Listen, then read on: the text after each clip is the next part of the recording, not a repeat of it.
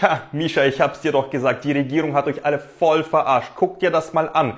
Die Hälfte der Patienten im Krankenhaus ist gegen Corona geimpft. Gut, dass ich mir nicht dieses Gift geben lassen habe. Das wirkt ja sowieso nicht.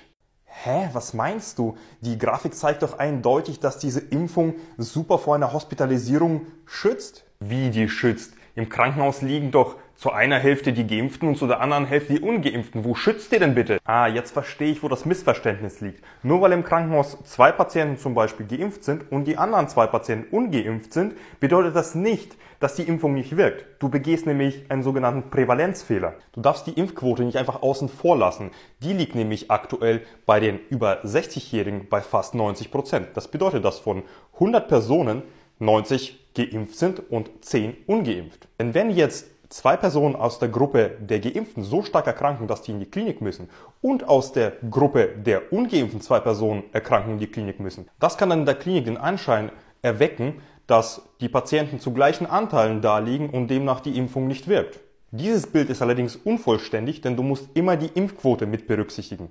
Denn wenn man die Impfquote mit betrachtet, sieht man ganz schnell, dass von den Ungeimpften sehr viel mehr Menschen im Krankenhaus landen, nämlich zwei von zehn, das sind 20 Prozent.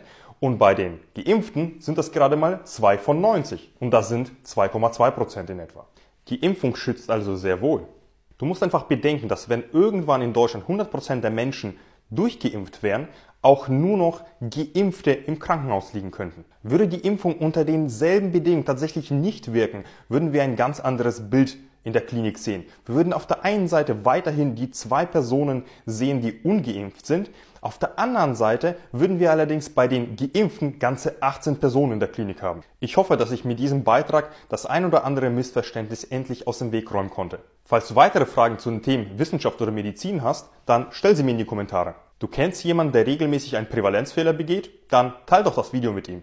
Und falls du mehr Videos zu solchen Themen sehen willst, dann abonniere meinen Account. Bis dann.